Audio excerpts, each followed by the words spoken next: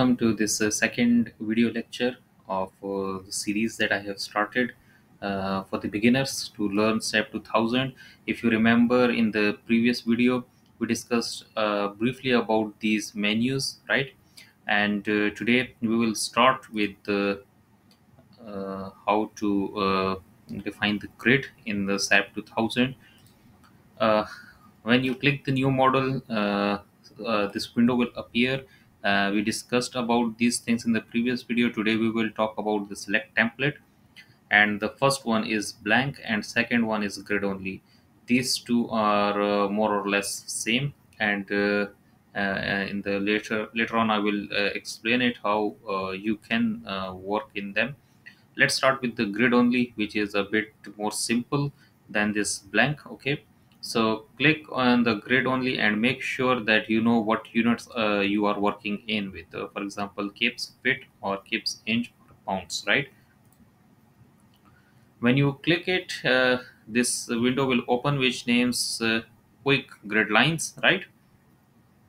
And uh, it uh, gives you two options. For example the cartesian coordinate or the cylindrical coordinate. In the cylindrical coordinate you have to define the number of grid lines, grid spacing, and first grid location along the radius, along the theta, which is the radial lines or the angle or between two lines, and along the z-axis, which, which is length of the cylinder, right? However, in uh, Cartesian coordinate, you always deal with the x, y, and z directions, and you have to specify number of grid lines, grid spacing, and first grid line location. So uh, let's first uh, work in the Cartesian coordinate uh, in the x direction. Let's suppose let's say I want to six grid lines. So there will be five spacings right? In the y direction uh, four is I think okay. In the z directions there will be three grid lines. Now the grid spacing I want uh, the spacing in x direction to be 18 feet. In the y direction to be 15 feet and in z direction to be 11 feet right? And uh, uh, the first grid line uh, it's okay if it starts at 0 0 0 so as soon as i will click this ok button uh, you will see that this uh, structure that i just defined appears here right? Uh, this is a 3d view. If you click on the 3d view you can see 3d view and if you click here so these are different 2d views. For example this is xy plane. You can select the xz plane and you can select the yz plane. So coming to the xy plane you can see that there are five spacings in x direction. This is the x direction. One two three four five. There are five spacings and six grid lines right? A b c d e f in x direction and four grid lines in the y direction with three spacings right right now uh, the spacing is uniform as you can see that but uh, nothing to worry about. You can always uh, change the spacings for example right click and select this edit grid data right? And uh, by by uh, highlighting this global just click this modify show system. Here you can play with the spacing. For example right now if you click here in the spacing section you can see that the spacing in the x direction is uniform. All the uh, all the uh, grids are at the same distance but you can play with it. For example i will say that the first uh, uh spacing it is not 18 inch uh, 18 feet but it is rather uh, let's say 16 feet.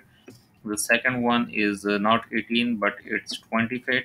So the third one is not 18 it's 17 the fourth one is let's say 19 and the fifth one is uh, what I would say uh, 15.5 right? So I have changed the spacings in uh, one direction. You can change it in the other as well. For example in the y direction uh, let's suppose one is 12 the other one 15 or make it 17 and the third one as uh, 16 okay? Similarly in the z direction uh, I will make it as a 10 feet. So uh, when you click OK so you will see the grids will be rearranged. See? Now you can see clearly that the this spacing is uh, uh, much uh, lesser than this one.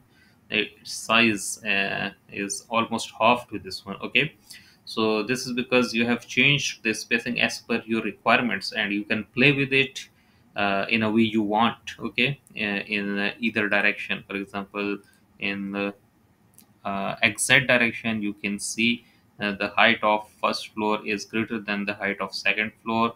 Similarly in the yz direction you can see the the size of different uh, rooms uh, if you call it a room or uh, uh, any opening whatever you want to say it.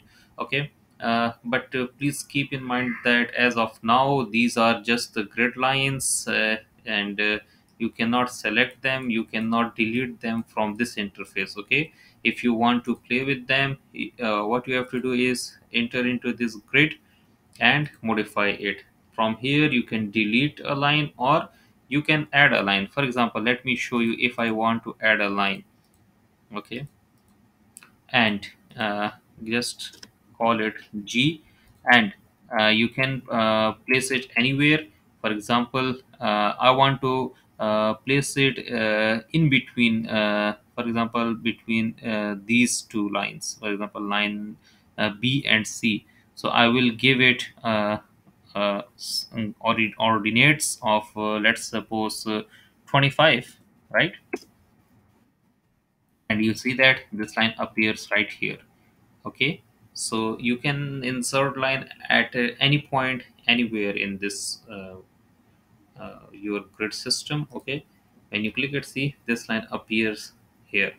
So similarly you can do it in uh, any direction but these are just the grid lines and you you need to uh, to define your uh, wha- what we'll call materials and the sections and you have to model it okay? So uh, for example uh, i want to um, model for example uh, this uh, section has already been uh, defined by the sap so if i just click on any grid line see it will be modeled now the beams have been defined that these are the four beams right uh, Okay, uh, so we have defined the beams right now. Exit from this mode and just select quick cross slab. Uh, we will talk about these things later on. Don't worry about that. I'm just trying to show you that how it looks like. Uh, right uh, as of now, we have defined four beams and one slab. I am going to fill objects to show you that how it looks like. See, this is how we have just defined four beams and uh, one slab See, this one slab and four beams have been modeled and uh, the rest are just the grid lines uh, means that you have to go and you have to draw some elements uh, either beams or columns. Okay uh, we haven't uh, defined any column so let me go to the other views. Uh, for example we are in this view right? Here it is highlighted and let me draw some columns as well to show you okay? So when I click over here see the columns have been uh, of, uh, made over here right? So I have made this one one frame right? Okay uh, if I want to make it a complete frame let's do the same practice here as well. So now you can see that uh, we have defined uh, modeled uh, this uh, entire frame and uh, highlight this and make it a 3d rotation. Just see how you have uh, make it right? So that's the way uh, you can define the grid lines and uh, on that those grid lines you can make this uh, the elements the beams the columns the slabs that you want uh, to be there and you can edit this grid as well at any time. It's up to you. Uh, now uh, i would like to show you the same thing. For example uh, the blank one right? So if you select this blank option uh, you will get nothing. And when you go to the edit grid and uh, either you have to add new system because there is nothing or you just want to modify this because it, it is empty as well so here you have to define everything and you have to start uh, from the scratch. You have to define the line type uh, the visibility the bubble the name its uh, ordinate or if you are working in this spacing so it's spacing. So here you have to do everything from the scratch. However in the uh, previous option uh, it was not from the scratch and uh, you just predefined some uh, equal intervals uh, along each axis either it is x either it is y either it is z and then you made the changes accordingly right? So we are done with this uh, blank option and grid only option. Uh, we are uh, also have the uh, a video on this beam option. I would suggest you to go and watch the video on how to model a simple beam in sap 2000 uh, in the next video we will discuss about this 2d trusses and uh, in the subsequent videos we will discuss about all these templates okay? So see you uh, in the next video. Thank you very much. Bye bye